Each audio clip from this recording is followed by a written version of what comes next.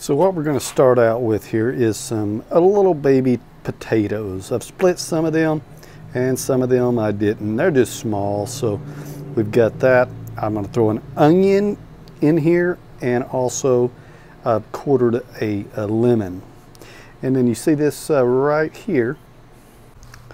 This is some lemon thyme that uh, I actually grow beside the house and uh, it has a little citrus flavor and a little thyme. So we're going to go ahead and start this uh, by putting all this in this uh, water right here that's extremely getting hot and about to boil.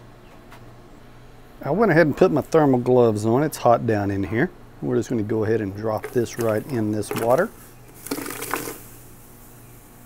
Get that lemon thyme to come off.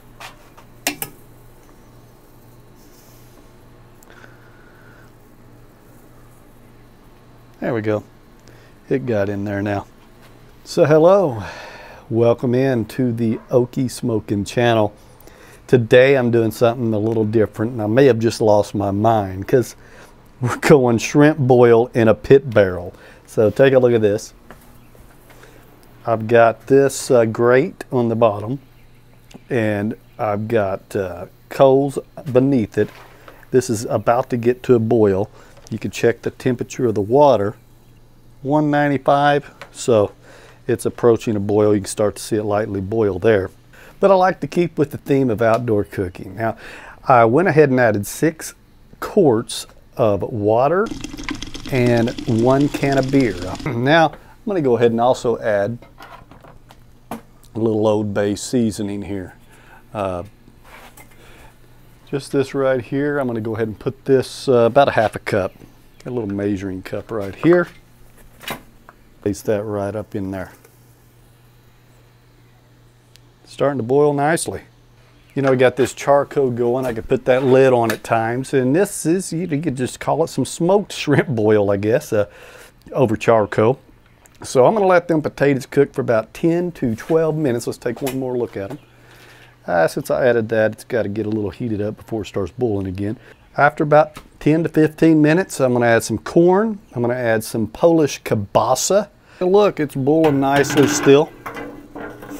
And now we're going to go ahead and add some frozen corn now. We're just doing some great value corn here.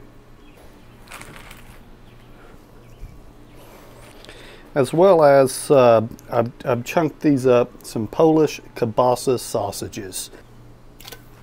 And that's cooled that water down below a boil at the moment. Had to get that temperature back up, cook this about another oh, 10 minutes or so, uh, maybe 15, whatever. Those potatoes should be done. This should be done. Then we'll add the shrimp.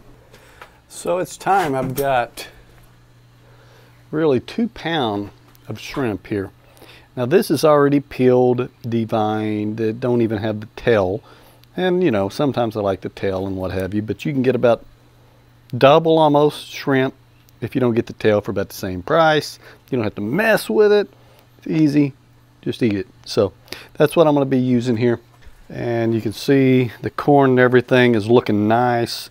I did add a little bit of salt that I forgot to show. So there's a little salt in here as well. And then here's the here goes that shrimp. This is going to be uh, the last bit to this uh, boil. Throw that right in there. That's a lot. That's a lot of shrimp actually. And let's stir that up.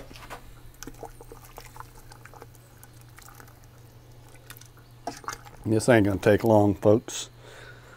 When I come back, we're gonna have this laid out for you.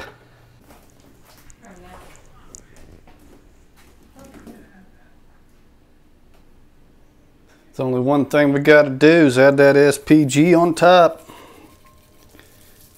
Could add some more Old Bay, whatever you want. And let's go ahead and try out a piece of shrimp. Hmm. And a potato. It's really, really good. Again, you just cook this on your stove if you want, but maybe you're out camping or something. You just want to take that pit barrel with you, throw some charcoal, throw that pan on there. Turned out fantastic. I got some eating to do. As I always say, outdoor cooking tastes better. Y'all guys have a great day. I'll see you in the next video.